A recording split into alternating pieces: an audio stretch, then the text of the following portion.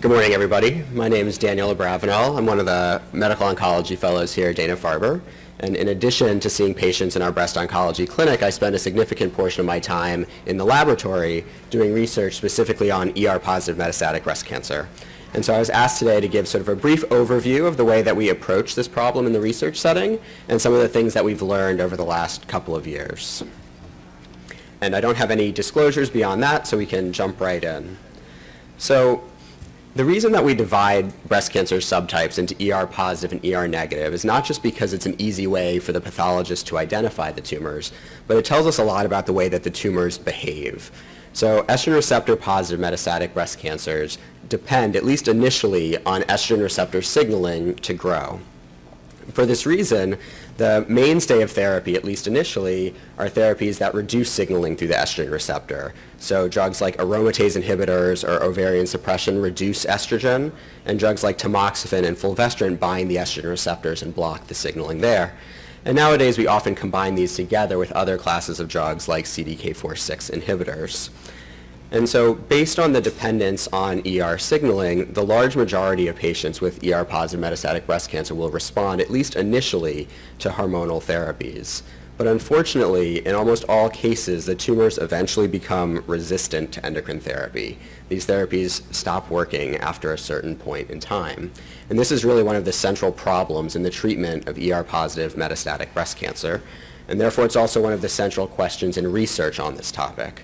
So we'd really like to be able to understand how this occurs. Because if we can understand the mechanisms by which tumors become resistant to ER-targeted therapies, we should be able to develop drugs that combat this resistance, that effectively treat resistant tumor cells, and maybe even come up with strategies to delay or even prevent the development of resistance in the first place. So a number of years ago, a group here started the metastatic breast cancer study with the idea that the best way to understand this problem is to study the tumors as they occur in patients with resistant metastatic breast cancer. So we've known about this problem of resistance for as long as the drugs have been around. I think tamoxifen, the first clinical trial was in 1970. Um, but we've had trouble understanding this problem as it occurs in patients. And so the idea here is that if we could collect tissue from patients with resistant ER-positive metastatic breast cancer and study it in the laboratory, we should be able to gain some insights in this process. And so this was started um, back in July of 2015 as a collaboration between Dana-Farber, Brigham, and the Broad. And so patients with metastatic breast cancer who are undergoing biopsies are offered the opportunity to consent to this research protocol where in addition to the um, tumor biopsy, of course, going to pathology to make sure that it's metastatic breast cancer, having the receptor staining repeated, and getting the clinical targeted sequencing panel that we do, all of that is returned to the clinician and thereby the patient to help with clinical decision making. But in cases where there's extra sample left over, those are sent to research laboratories to do additional profiling of those tumors. So we look at the DNA, we look at the RNA, which is the messenger of the DNA, and the proteins, which are the functional units within the cell. We also look at tumor uh, liquid biopsies, blood biopsies, and as Nancy was describing earlier, we link this information to the clinical information, what treatments patients have had, how they've done with those treatments, to really try to use this information to understand how tumors become resistant, how they evolve over time, so that we can learn how to better treat them. And so back when I was in graduate school, the only genomic information that we had in breast cancer was in patients with primary breast cancer. People actually thought that it wasn't really feasible to do these kinds of biopsy programs in patients with metastatic breast cancer. But um, since July of 2015, we've been able to collect over 500 biopsies from almost 450 patients um, as part of this program. And in the process, we've actually learned quite a bit. So we're also not the only place that's done something like this. Other centers do this as well. And so um, late last year, the group from Memorial Sloan Kettering published an experience, sort of a similar um, type of approach. Everyone goes about it slightly differently. Um, but so we have data from them. And then there's also uh, was a large project headed out of Europe where they collected um, biopsies from patients with ER-positive metastatic breast cancer and other subtypes as well who'd been part of clinical trials. And so these, um, these tumors were sequenced and we have data from that. Not everyone has the opportunity to go to a large cancer center or to participate in a clinical trial, and so there have been efforts to try to broaden these kinds of processes as well, to reach out and partner with more patients around the country. And you heard about this a little bit earlier, so the best example we have is the Metastatic Breast Cancer Project, where you don't have to show up at a large cancer center or sign on to a clinical trial, you just have to sign on to the website. Um, and over 5,000 patients with metastatic breast cancer have done that so far, and over 3,000 of them have consented to have their tumors profiled um, by genomic sequencing. And if you look at the map here, those patients come from all over the country. There's actually 1,700 different institutions um, that are represented uh, by the patients who have participated in this.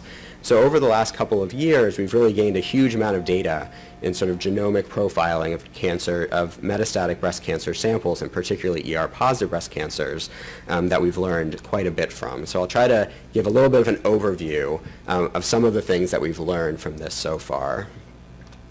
The first is that if you compare resistant metastatic breast cancers to primary breast cancers and look at the genomics and look at the mutations in those tumors, they're, they're different resistant metastatic breast cancers aren't the same as primary breast cancers. And this shows that it really, to understand resistance, you have to look at the resistant tumors themselves. There's probably two reasons at least why they're different from primary breast cancers. The first probably has to do with the biology. So tumors that become metastatic are more aggressive, have more aggressive biology than those that don't. So there might be some pre-existing differences. Um, but also, we've learned that tumors evolve over time. So if you take samples from the same patient at different times over their treatment course, either comparing the primary tumor to a metastatic biopsy or even multiple different metastatic biopsies, we see that the tumors change over time. They change in response to therapy and other factors over the course of disease, and again, this points out the importance of looking at multiple different time points.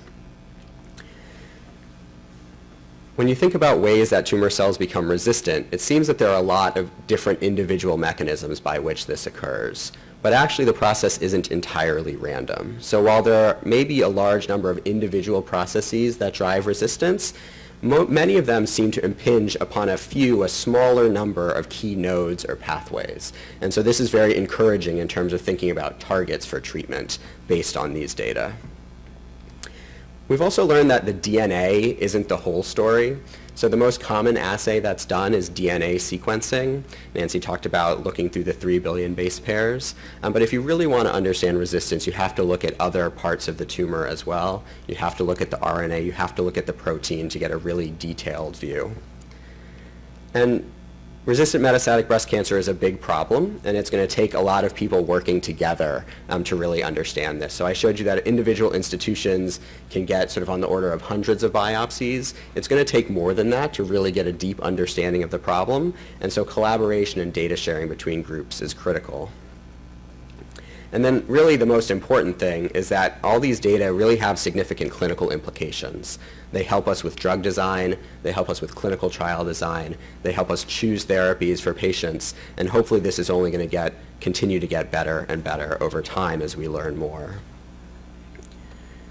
So I particularly study resistance. That's why how we frame this. That's the way we started. So I'll also go a little bit more into detail about sort of the types of resistance. I talked about that there may be certain nodes and pathways that are particularly important resistance, and there are probably certain classes of resistance as well. So the first and maybe the most obvious is that you can have a change in the estrogen receptor itself that makes it no longer susceptible to the therapies. And so we'll talk specifically a little bit more about mutations in the estrogen receptor. Another class of resistance is that there are other signaling proteins and other signaling pathways that can cooperate with estrogen receptor signaling or maybe even bypass estrogen receptor signaling. And one example of that is HER2, and so we'll talk about that a little bit more in a minute. And then the last category is that some tumors seem to become, even though initially they depended on estrogen signaling, they become so independent of it that they actually lose expression of the estrogen receptor. And so we'll talk about that in a minute as well. So the first example were mutations in the estrogen receptor. I don't know how well you all can see this. Um, ESR1 is the gene that encodes the estrogen receptor. If you look at primary breast cancers that express the estrogen receptor and sequence the estrogen receptor in those tumors, in only a very small percent do you see mutations there. Um, it doesn't show up very well, but it's the small gray bar here. But if you sequence patients with resistant ER-positive metastatic breast cancer, about 20% of those patients will have mutations in the estrogen receptor itself. So this is one of the examples of how resistant tumors are different than primary tumors and how they change over time. Those mutations are not randomly distributed across the protein, so this is a cartoon sort of showing us different areas of the estrogen receptor protein. They're focused on particular regions. And normally the estrogen receptor to be active has to be bound by estrogen. That's why therapies like ovarian suppression or aromatase inhibitors that reduce estrogen levels are effective. But what these mutations do is they allow for the estrogen receptor to be active even in the absence of estrogen. So it means that those therapies that reduce estrogen levels won't work anymore. The tumors become resistant to those therapies. And some of the mutations can also cause resistance to the therapies that bind the estrogen receptor, like tamoxifen or fulvestrant. Um, but so now that this is understood, there's a lot of effort in drug development to develop new kinds of endocrine therapies that can work even when the estrogen receptor is mutated. Um, so that's a big area of growth based on these data um, that have come out over the last couple of years. If we go sort of down um, to, a, to another gene that's frequently mutated in resistant metastatic breast cancer, but not in primary breast cancer, this is the gene that encodes the HER2 protein. And so you all know probably about HER2 as a subtype of breast cancer. This is actually a little bit different. So in HER2 positive breast cancer, the HER2 gene is overexpressed or amplified. But here, these are mutations in the HER2 gene, kind of like we just saw mutations in the ER gene. And so similarly, what these mutations do is they cause signaling through HER2 to be active all the time, even when it's not supposed to be.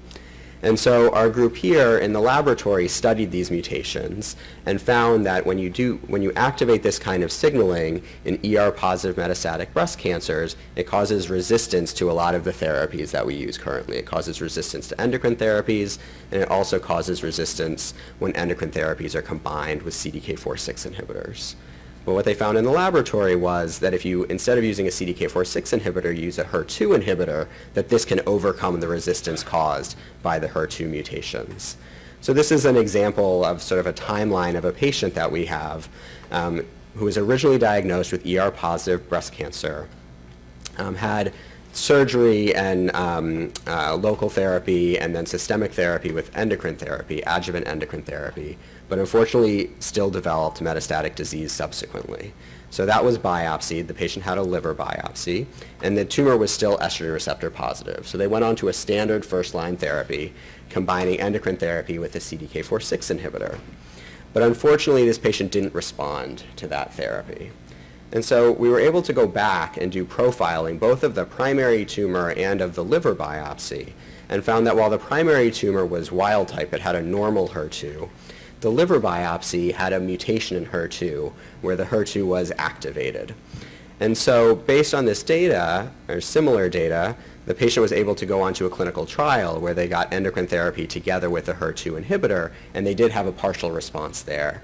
So if we had known about it originally, we might have predicted that they wouldn't respond um, to the endocrine therapy um, with CDK4-6 inhibitor, but maybe the um, HER2 targeted therapy instead. And so again, this is an example of how these data can really drive advances in the way that we design clinical trials and design drugs um, to target patients with resistant ER-positive metastatic breast cancer. The last category that I want to talk about is this, that what I've called sort of indifference to ER. And so if you look at large numbers of patients with ER who were originally diagnosed with ER-positive breast cancer, a subset of those patients over time, you'll find that they have a biopsy that's actually ER negative. The tumor doesn't express the estrogen receptor anymore. And if you look at sort of larger numbers that we have, we think that probably occurs in about 20% of patients. Sometimes it happens sort of later in the course of disease after many different therapies, like in the example above. This patient had sort of four different times that tissue was biopsied. The first three were all estrogen receptor positive, but the last one was estrogen receptor negative. Or in this second example, this is a patient who just after having adjuvant therapy with chemotherapy and endocrine therapy, when the disease first recurred as metastatic disease, was estrogen receptor negative. And so this is an area where we don't understand as much yet. We don't really understand why the estrogen receptor is lost or how it's lost in these cases, um, but it's an area of active investigation. It's actually something that I particularly study in the lab. And again, we hope that by understanding these mechanisms, we can develop therapies that would target this type of resistance when tumors lose the estrogen receptor, and maybe even think of ways to design therapies that would prevent loss of estrogen receptor in the first place. So that's sort of what we do in the laboratory. What do we do in the clinic with the results of genomic sequencing? And so ideally, Nancy alluded to this before, we could combine this data with the rest of the data that we have from our clinical exams, from pathology, from scans, to really find the right treatment for the right patient at the right time. Unfortunately, we haven't achieved that goal yet, but we really are making progress um, towards that idea of cancer precision medicine. And so nowadays, many clinical trials are designed with this in mind, where we think about whether certain mutations should direct patients to one kind of clinical trial or another, or if clinical trials should stratify patients based on the mutations that are found in their tumors. And so you'll hear more about this in the next talk from Otto, but actually just recently in May of this year was the first approval specifically in breast cancer um, for patients with ER-positive metastatic breast cancer who have a particular mutation. So there was a clinical trial set up to look specifically at patients who have mutations in this gene called PIK3CA and found that there's a particular type of therapy that works well in this in tumors with these mutations as opposed to those that don't have these mutations. So you'll hear more about that um, coming up. So we want to make sure to leave plenty of time for questions at the end. Um, so I'm gonna uh, I'm gonna wrap up here, and just to say that you know while we have we feel like we've learned an incredible amount over the last couple years from these kinds of studies, we do appreciate that there's still a lot of work to be done, but are hopeful based on the results that we've had just in the last couple of years that we'll really be able to continue to drive discovery that has significant clinical implications as well. And just lastly, that uh, obviously these studies are entirely made possible by the fact that there are patients who are generous to share um, share samples of their biopsies with us. Otherwise, we wouldn't be able to do any of this research. And so for that, we want to thank all of the participants and thank all of you for being here with us this morning.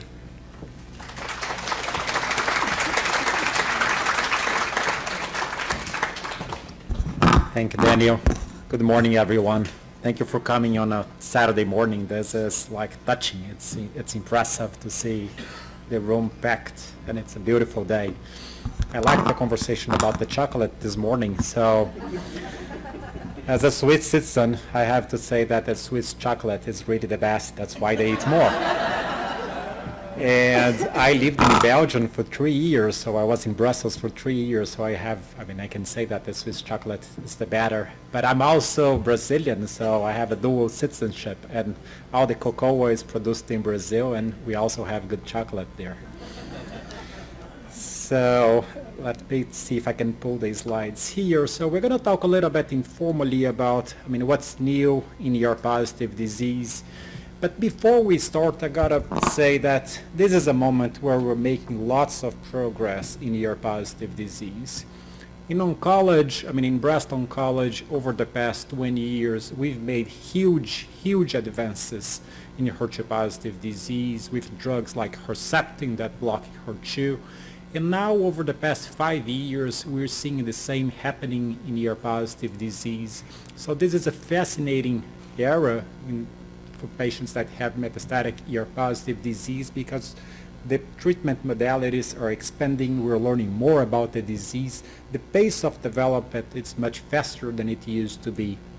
One of my areas of research interest is invasive lobular carcinoma, which by itself is a subtype of breast cancer that's ER-positive disease.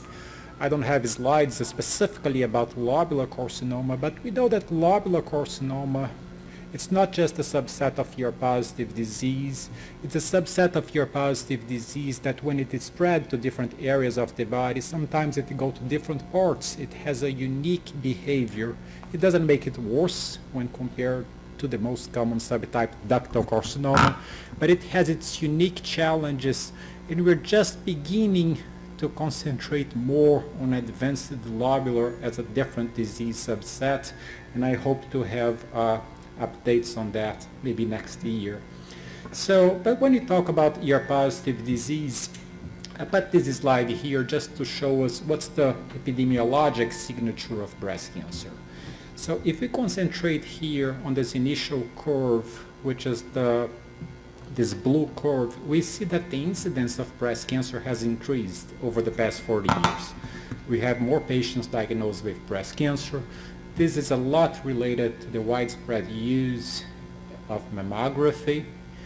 We also saw in this red curve here that the mortality is reducing. This is because we got clever over the past 40 years. We're treating breast cancer in a much better way. And here uh, in the middle we have a curve which is still it's a bit problematic for us from a research standpoint in the sense that the incidence of metastatic disease or patients that here this curve is just showing patients that are diagnosed with advanced disease at the time of the diagnosis. This hasn't changed much over the past 40 years.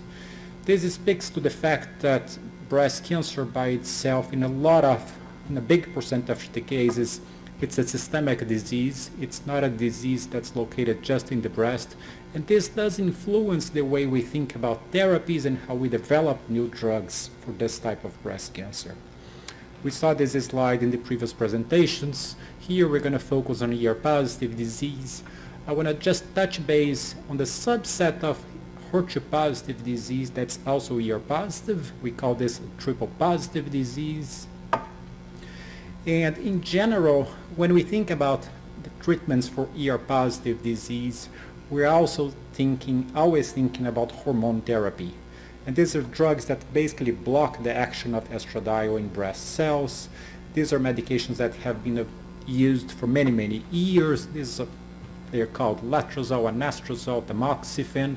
But more recently, over the past few years, we have added new medications that are able to improve the efficacy of the endocrine therapy. They're able to delay resistance, and we're going to talk a little bit about that. So in the next few slides, I'm going to concentrate on how can we make the endocrine therapy, these classic drugs, to work even better. And here we have a new class of drugs that are called cyclin-dependent uh, kinase inhibitors. These are basically medications that block cell cycle. So when we think about uh, a cell and a breast cancer cell, it grows, it multiplies over time, and what we try to achieve with endocrine therapies or with medications that target cancer, we want to block cells to divide, we want them to die. And we have used uh, this classic tamoxifen letrozole drugs for many years, but we now have this new class of drugs that basically potentiate the effect of these drugs, and they basically block the cell cycle. And they, and they have this fancy name, CDK4/6 inhibitors. The cell cycle by itself, it, we've known this for many, many years. We just didn't have drugs that were potent enough to modulate the cell cycle the medications that we tried and we have used on clinical trials 15 years ago, they were too toxic. And now with this modern technology and drug development, we have these newer drugs are able to modulate the cell cycle in a very clever way. So uh, this uh, tagline here, it comes from a very recent publication in the Lancet Oncology, basically saying that CDK4/6 inhibitors, they are taking place of chemotherapy. Basically, they are effective enough that we're delaying the use of chemotherapy. And this is very important for us because in ER-positive disease, we really want to take advantage of these drugs that block estrogen as much as possible because they are able to control the disease and maintain quality of life, which are very important things for us. So the cell cycle inhibition, basically we're putting a brake on the cell growth. They potentiate the effects of endocrine therapy. And here we have a new story that's just coming out of some research that was started here, which is this immunomodulatory uh, benefits of these drugs or potential to boost an immune response when you use palbociclib or, or the CDK4/6 inhibitors. So here I want to uh, take advantage of some of our preclinical data. So this is uh, research that was initiated and conducted here in a laboratory by a close friend of mine, uh, Shom Goel, who is now back to Australia, where he basically tried to understand in the lab how these drugs really work. Because the results that we saw with clinical trials when we added these drugs were so impressive that the hypothesis was maybe these drugs are doing more than just blocking the cell cycle.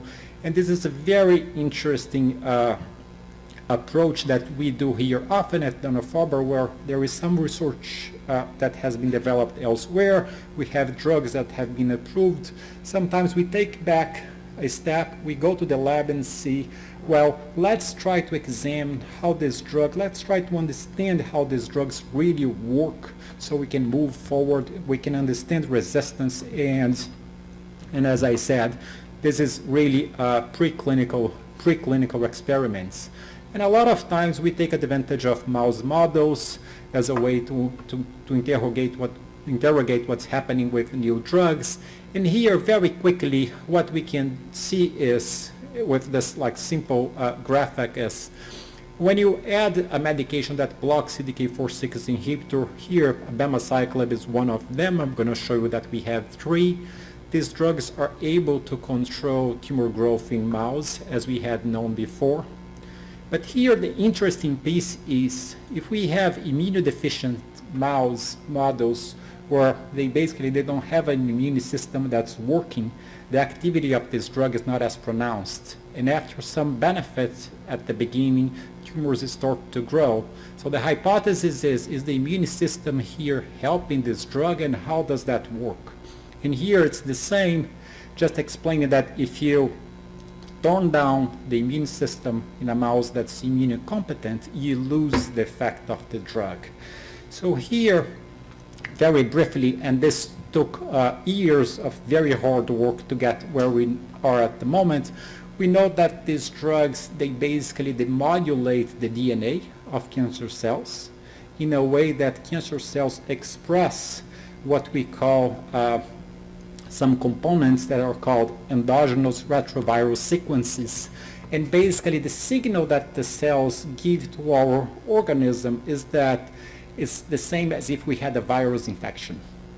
So the drug, in addition to block the cell cycle, gives this signal that maybe you got a cold. And by getting this like signal of a viral infection, you produce, uh, cells produce uh, uh, molecules such as interferon, and that's basically very effective in boosting the immune system. So here we have a discovery that came from here, basically informing that these drugs, they are not just blocking the cell cycle, not just potentiating the effects of endocrine therapy, but they're stimulating the immune system. So this is very interesting because we saw the presentation from uh, Sara Tolaney how important the immune system is in general becoming oncology, that now we can take advantage that drugs that have been used to potentiate endocrine therapy to boost this immune system activation. So uh, prior to knowing this, these drugs were developed. We have three drugs that are approved now. They are called palbociclib, ribociclib, and abemaciclib. They are produced by different companies. Palbociclib and ribociclib are very similar drugs. Abemaciclib is slightly different in terms of side effects. When we think about how these drugs come to market and how they are approved, they are approved after very rigorous clinical trials were conducted. And here basically we have three medications and very large clinical trials that we call phase three trials or registration trials that are conducted with a lot of oversight from the FDA that has basically shown that they are very effective across the board. So we have multiple clinical trials for patients that were just diagnosed with ER-positive disease and also clinical trials for patients that have had some sort of endocrine therapy before and are going into a second type of endocrine therapy at the time of the disease progression. It's important to note that uh, when we treat breast cancer, we're treating uh, a very large number of patients and with very large distribution in terms of ages, including patients that are over 70 or 75. So what the FDA did recently is they put together a publication where they looked for the efficacy of these drugs across ages. And what we can see here on these curves, we don't need to concentrate on all these uh, colorful lines. This is basically showing that these drugs, they work for patients that are younger or elderly in the same way. So they are equally, equally effective. But for elderly patients, we should be a little bit more careful because we do have a little bit more in terms of toxicity. So this is an interesting publication for us to be more uh, alert and consider those reductions and pay attention to specific side effects that are more likely to happen for patients that are over 70 or 75. But it's also important to show that these drugs are equally effective for these patients. As I said, when we use new drugs, we have novel toxicities, and I particularly I pay a lot of attention to toxicities because they do impact on quality of life. We want patients to be on medications, but at the same time, we want patients to live well. And these medications in general, they can cause some variations in the white cell counts. No one feels anything when, it, when this happens but we do pay attention because of the potential for toxicities such as infection and so on, which are not common. When we add a CDK4-6 to classic endocrine therapies, there's a little bit more fatigue, but this is not pronounced. It's not a drug that's very toxic. There is some hair thinning. We control liver function tests, but not dramatic. And abemaciclib is a slightly different drug. It can cause a little bit more of diarrhea, but it's manageable with dose reduction. In general, uh, I think that these medications have a toxicity profile that's very favorable when compared to many drugs. The activity of the three medications, they're basically equally effective. Now we have data from all these studies showing that they're really, really remarkably effective and no one is better than other. So, but there are also many questions that we don't know about the CDK4-6 inhibitors. So I showed you the, the story about how these drugs stimulate the immune system. This is a work in progress. We're trying to see how this plays out once we're giving this drug to patients. I'm, conduct, I'm running a clinical trial at the moment where we have research biopsies being tested to try to see how the immune system recognizes this message in, in, in our bodies. And there are additional questions such as should we continue this drug if they stop working with different medications like Herceptin, HER2-positive disease. We know that there is a benefit in continuing Herceptin after progression. The reason why sometimes we continue the same drug after progression is because these drugs are not just blocking the cell cycle, but they are stimulating the immune system. So this is very relevant for the CDK4-6 inhibitors at the moment.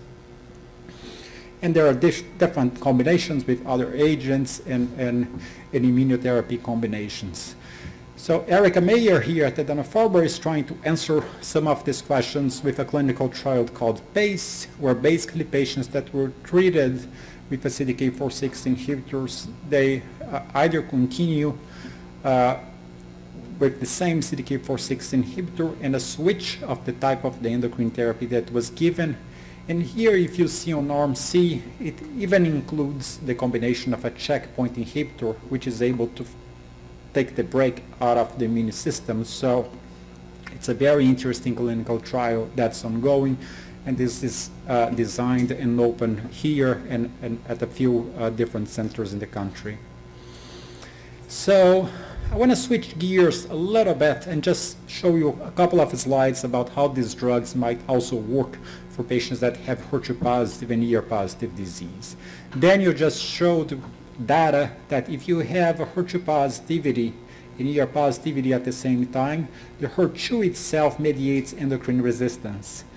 So, and with this whole idea that CDK4-6 inhibitors, they modulate endocrine resistance, it's natural to see how these drugs uh, are going to perform if you had a, a triple positive disease or HER2 positive, ER positive, and PR positive disease. And Sara Tolaney presented last week at ESMO, which is a meeting in Europe, the results of abemaciclib in HER2 positive disease. This is the MONARCH HER clinical trial. It's a three-arm clinical trial, relatively small but very interesting, where patients got chemotherapy with Herceptin, or abemaciclib and Herceptin, or abemaciclib, Herceptin, and fulvestrant, which is one of the endocrine therapies. And when we see the results here, the curve, the yellow, the red curve here, which is the best in terms of results, is showing that if you have the triple combination with a CDK, fulvestrant, and Herceptin, you get better outcomes. And here, this is a study that included patients that have received at least two lines of prior therapies. So it's a very strong signal showing that the CDK4/6 inhibitors are likely to have a role for patients that have HER2-positive disease. And I'm running this clinical trial through Alliance, which is called the PATINA trial, where we try to add palbociclib in earlier lines for patients with triple-positive disease. This is a global study that we started here, and it's opened across centers in the US and many centers in Europe and Australia.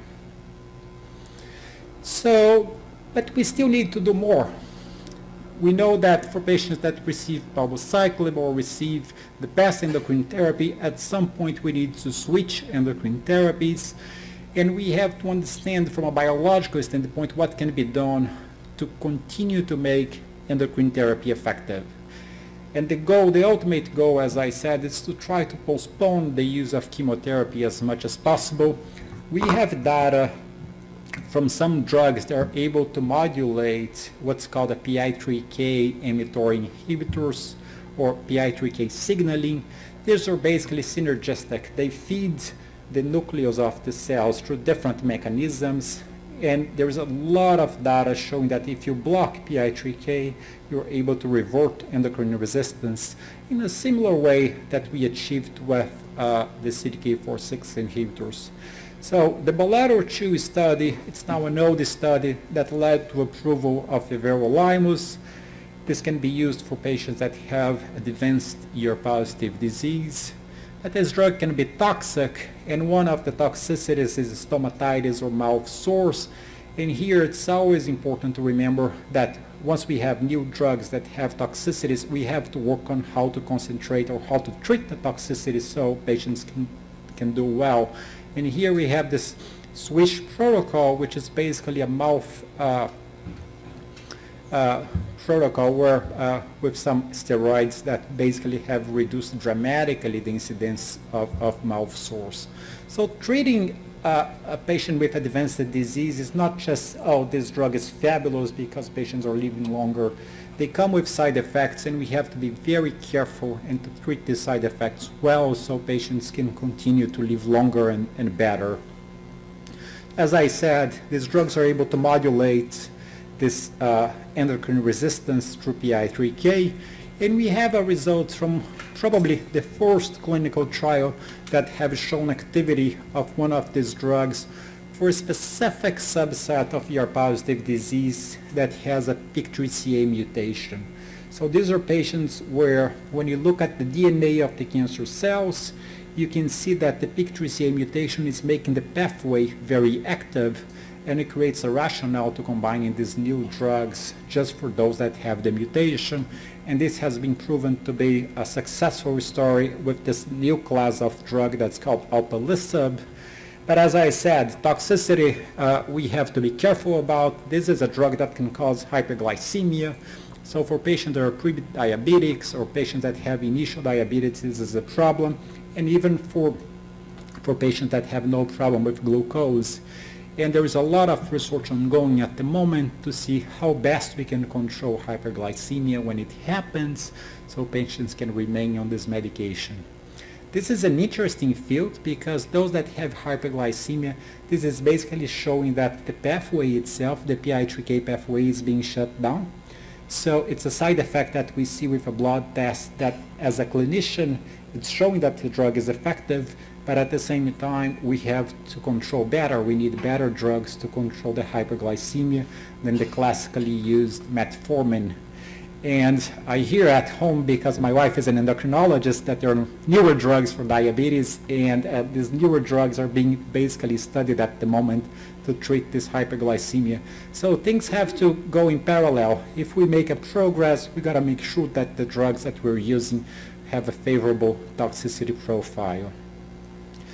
Very briefly here, we have newer classes of drugs and novel endocrine therapies being developed we have drugs that block the estrogen receptor itself in a much stronger manner. And, but the data here is still sort of preliminary. The studies are at the beginning.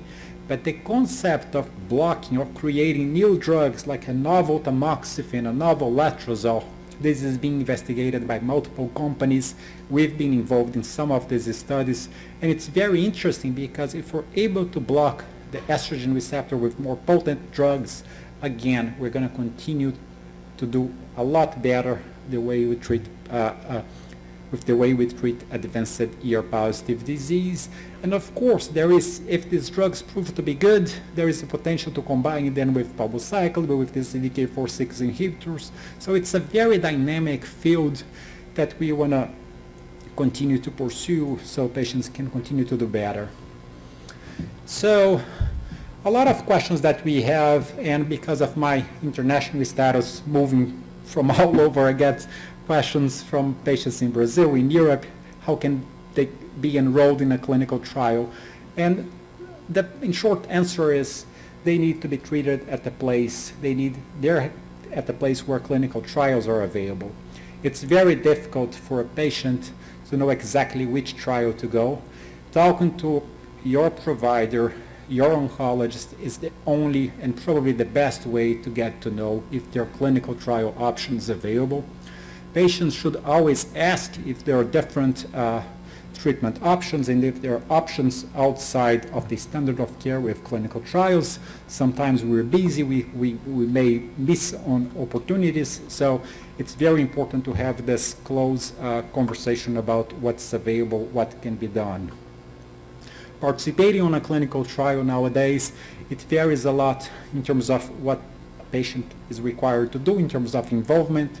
Of course, there is no extra costs, but the, there are indirect costs, sometimes with extra visits, extra lab work. But in general, as I said, there is huge variability from study to study, and this should be part of the conversation with your oncologist so you know exactly uh, what's, what's involved. And it's also important to notice that none of the advances that we talked about, they wouldn't be feasible uh, without patient volunteers and patients that have participated in clinical trials. So I just mentioned this, how to enter in a clinical trial. Usually uh, we discuss options. We say we have this clinical trial available. This could be a good fit for you. There is a huge review of all potential side effects uh, before a patient signs a consent. And basically, I mean, to be very clear, clinical trials are not done for us. They are done for patients, and patients have the right to go in and off and discontinue at any time. There is no, uh, we are not uh, doing this for any reason, if not to make the treatment of breast cancer better. So in conclusions, there is a lot of work ongoing at the moment in ER-positive disease. We have new targets we're moving away from chemotherapy as much as possible. I didn't add much here, but we have newer chemotherapies being developed. Sarah touched on, on, on novel agents being developed, sometimes oral agents that have a very favorable toxicity profile.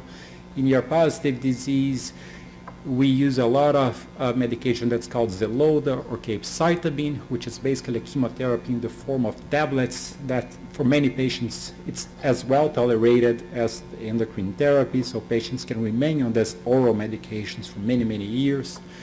And we're basically learning a lot from patients and as I said at the beginning, the reason we do all that is because we really want to make the treatments better. So thank you very much. I think we have time for questions and discussions.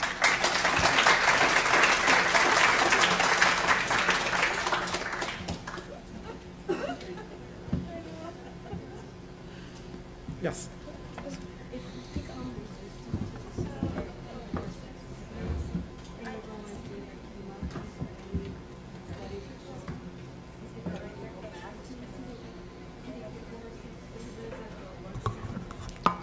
The question is whether uh, we can re-challenge someone with a CDK4/6 inhibitor, uh, and the answer we still don't know. We have these clinical trials ongoing at the moment. PACE is one of the clinical trials. There is a rationale for re-challenging, and but uh, the studies are still ongoing.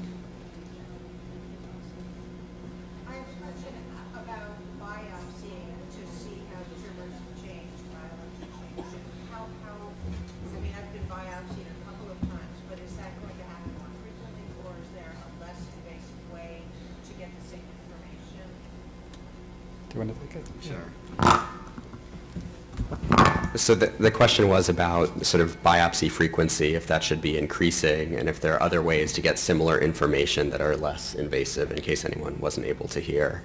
And so to the second point, um, this is sort of the goal of liquid or blood biopsies. So we know that at least in some percentage of patients, tumor DNA is shed into the bloodstream. It doesn't just necessarily remain in the tumor cells.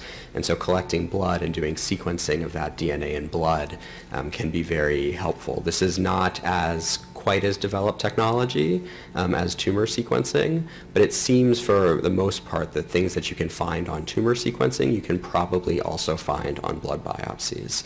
There are differences between what you can do with blood biopsies versus tumor biopsies, so I don't think they'll ever quite replace tumor biopsies, but they should probably have a growing role going forward.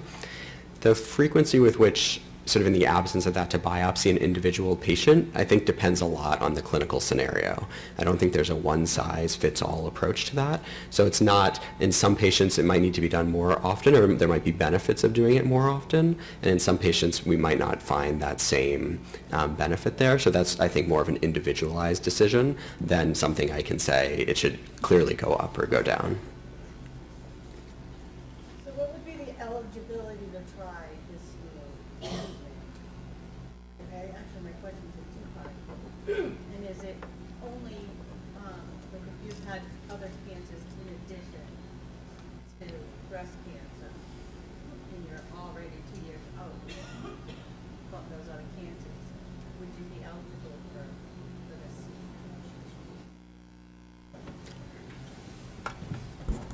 Yeah, so having had prior cancers, uh, Yeah. sure. So the the question is, uh, if you have had a prior cancer different than breast cancer in the past or, or an earlier diagnosis of breast cancer, if you're still eligible to be treated with a CDK4/6 inhibitor, and the answer is yes. Your question uh, has a different angle, which for us it's very important in the sense that for patients that have had different cancers, sometimes they are not eligible for clinical trials, and a lot of effort is being put into this at the moment because there is, it doesn't make sense to be restrictive for a lot of prior cancers in terms of the newer question that's being investigated. So, but uh, for the CDK4/6 inhibitors which are approved, we can use them without a problem. You want to, you've got a whole group of questions on cards there. Okay. I'll, I'll read the first one um, in the stack that I have here. It says, can you speak to research in ER positive and HER3 positive metastatic breast cancer? So I mentioned a little bit about HER2 mutations in ER positive metastatic breast cancer, and Otto spoke a little bit about triple positive breast cancer being ER positive, PR positive, and HER2 positive. So HER2 is a member of a family of proteins. Um, there's essentially HER1, 2, 3, and 4. Um, and all of these uh, are proteins that engage in signaling that can activate cells to grow. And so HER3 can do this as well. And so this is something that's being studied as whether it cooperates with estrogen receptor signaling similar to the way that HER2 can cooperate.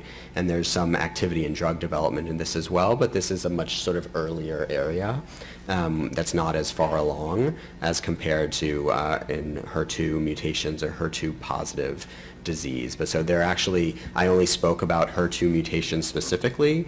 There's a whole variety of different proteins and signaling pathways that we think can cooperate with the estrogen receptor and that can potentially lead to resistance. And, and many of these are being studied. We just had a limited amount of time to go through all the different ones today. So I have an important question here, which is how come are the pulmonary complications to the lungs with Ibrance for patients with your positive disease, in particular for patients that have asthma. So recently, we received an alert from uh, the companies that produce these drugs showing that Ibrance and the other drugs then can cause pneumonitis. This is very rare in terms of uh, how often this shows up. It's less than 1% in general. For patients that have underlying lung complications, we should always pay special attention if patients has asthma and it's getting more difficult to control. This doesn't uh, uh, make anyone ineligible to take the drug. We just add, uh, we just pay special attention because of the potential risk for pneumonitis, which is very rare. Oh, this is a good one. Financial toxicity. Are approved drugs outside of clinical trials affordable? I don't think they are affordable. I think we have a major healthcare problem in this country. Prices of drugs in the United States are five times bigger than the same drug outside the country because of a federal law saying that when we talk about Medicare, price shouldn't be involved. I don't think this is going to change unless we make big political changes.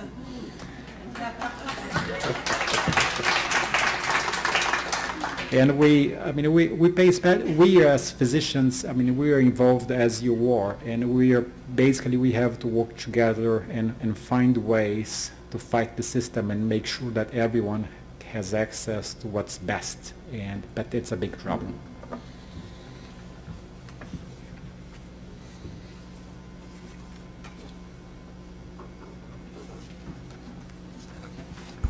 So this asks about registries. Is data collected across the nation, um, such as sample biopsies, scans, symptoms, gene mutations, et cetera? And is this automatically offered to patients in all institutions now that there are electronic medical records? Um, so that's a very good question. So ideally, electronic medical records should make this process much easier of collecting data, as I sort of alluded to in something like the Metastatic Breast Cancer Project, where patients from all over the country can sign up regardless of what institution that they're treated at. Unfortunately, it's not um, that easy yet.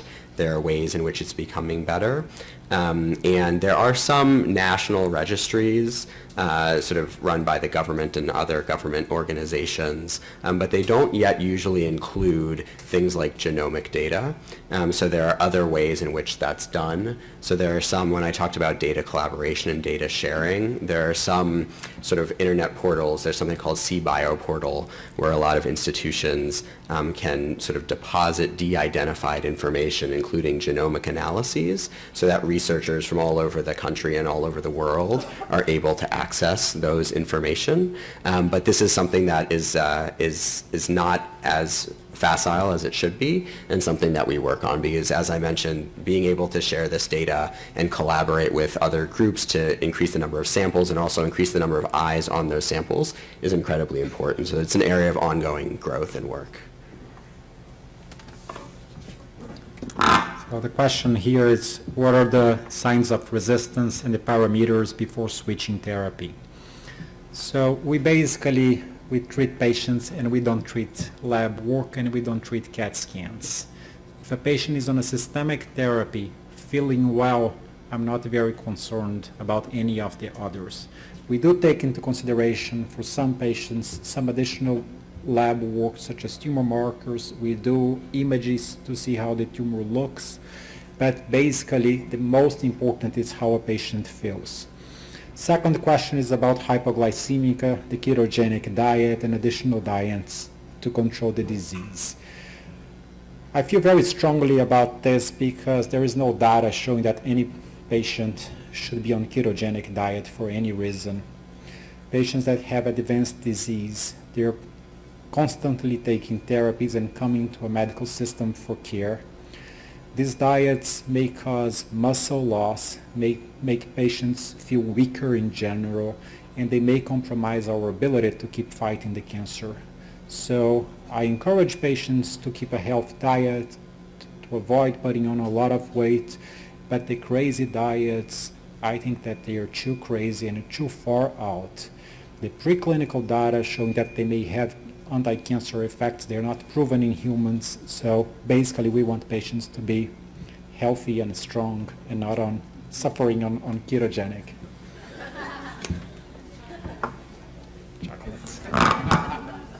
There are two questions on this one. The first is, is there any link or concerns about the order of drugs that you take, such as endocrine therapy plus CDK4/6 as a cocktail, and the timing of developing resistance?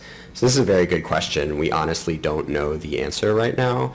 So in general, the way that we approach the sequence of drugs has to do with sort of how they perform in large clinical trials and their side effect profiles and how that matches up with the individual patient. Um, I mentioned how tumors evolve over time and they evolve in response to therapies. So we think that certain kinds of therapies might elicit certain kinds of evolution. Um, but how all these things fit together, we don't honestly quite understand yet, um, but it's something that we're actively working on. There's a sign that we just have two minutes left, so um, we'll do that, and then at least I'll be around for a little bit afterwards if there are more questions. I have a question for a patient who is HER2 positive, ER positive disease, has been treated with uh, anti-HER2 agents such as T-DM1, currently on letrozole, and the question is about how to measure my estrogen receptor level, the current estrogen receptor level. And uh, question is that second biopsy should be considered. Sometimes we do consider additional biopsies to test ER level. This cannot be tested with the blood cell-free DNA. So if this information is considered to be important by your oncologist and guide future decisions, uh, a subsequent biopsy might be needed. Sometimes the level itself is not as critical. We want to know if it's positive or not. We do, we do look into the percentage of positivity but that's how this can be done.